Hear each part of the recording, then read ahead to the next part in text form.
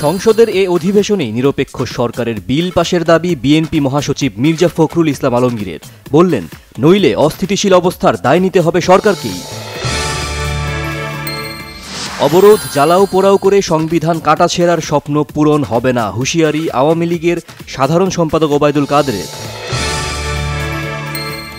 স্বরাষ্ট্রমন্ত্রী আসাদুজ্জামান খান বলেছেন আটাশ অক্টোবর রাস্তাঘাট বন্ধের পরিকল্পনা নেই সরকারের। বিএনপি শান্তিপূর্ণ কর্মসূচি করলে বাধা দেয়া হবে না।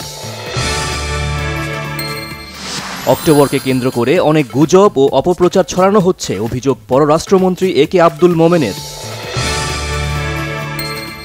প্রধানমন্ত্রী শেখ হাসিনা বলেছেন, আওয়ামী লীগের নেতৃত্বে দেশ এগিয়ে যাচ্ছে।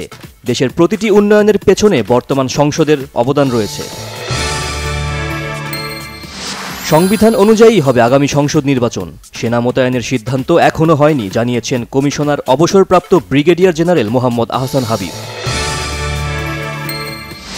অর্থমন্ত্রী আহম মুস্তফা কামাল বলেছেন, দেশের অর্থনীতি সঠিকভাবে এগিয়ে যাচ্ছে। জিনিসপত্রের দাম কমাতে কাজ করছে সরকার।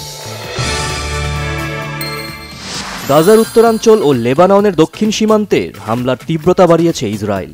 বেসামরিক মানুষের হতাহতের বিষয়টি সতর্কতার সাথে দেখতে তেল আবিবকে অনুরোধ জানিয়ে মার্কিন প্রেসিডেন্ট জো বাইডেন ও কানাডার প্রধানমন্ত্রী জাস্টিন ট্রুডোর চিঠি।